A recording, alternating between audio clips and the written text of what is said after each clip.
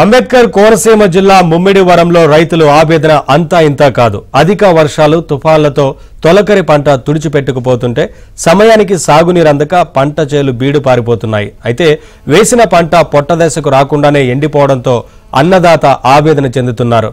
సాగునీరు సక్రమంగా అందకపోవడంతో నానా అవస్థలు పడుతున్నారు. అతివృష్టి అనావృష్టి సమయాలు రైతులకు శాపంగా మారుతున్నాయి. రైతుల్ని ఈరిచ్చి ప్రభుత్వం రైతుల్ని.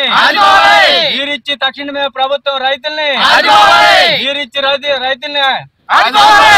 ఈరిచ్చి తక్షణమే ముమ్మిడివరం నియోజకవర్గంలో ప్రస్తుతం సాగునీటి ఎద్దడితో రైతులు తీవ్ర ఇక్కట్లు పడుతున్నారు. ఐపోలవరం కాట్రేనికోన ముమ్మిడివరం మండలాల్లో ఎత్తైన ప్రాంతాలకు నీరు అందకపోవడం పంట కాలువల్లో సాగునీరు అడుగంటడం రైతులకు శాపంగా మారింది. ఇక పాత ఇంజరం గ్రామంలో అయితే వరి పంటలు పూర్తిగా ఆరిపోయాయి. ప్రభుత్వం రైతుల్ని ప్రభుత్వం రైతుల్ని దీంతో రైతులు పంట పొలాల్లో కూర్చొని ఆందోళనకు దిగారు. ప్రభుత్వం పంటలకు సాగునీరిచ్చి రైతులను ఆదుకోవాలని డిమాండ్ చేశారు. కౌలు రైతుల పరిస్థితి మరీ దిక్కుతోచకుండా ఉందని వాపోతున్నారు. వరుస పంట నష్టాలతో అప్పుల పాలై పెట్టుబడులు రాక కౌలు చెల్లించుకోలేక నలిగిపోతున్నామని ఆవేదన వ్యక్తం చేస్తున్నారు. ఇంచుమించుగా నీరు మీద ఆధారపడిన పంట ఇంచుమించుగా నాలుగు వందల ఎకరం ఉంది సార్. అది మేము ప్రత్యేకంగా నీరు మీద ఆధారపడి పండిస్తున్నామండి ఇది. ప్రతి ఎకరానికి చివరి వరకు అందాలంటే పదిహేను రోజులు టైం పడుతుందండి. మాకు అలాంటిది మూడు రోజులు టైం ఇస్తున్నారు. మళ్ళీ మా కాలువలు కట్టేస్తున్నారండి.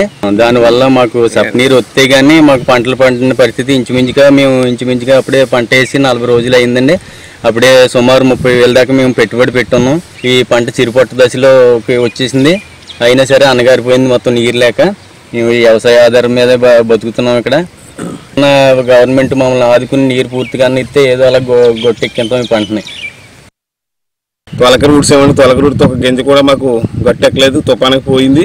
మాకు ఎటువంటి పారిదోషం మాకు అందలేదు. తర్వాత లీజులు మాత్రం ఆనా పైసలతో ఇచ్చేవండి మరి తప్పదా? ఇప్పుడు దాలో ఊడ్చామండి అప్పుడే ఇరవై నలభై రోజులు అయింది.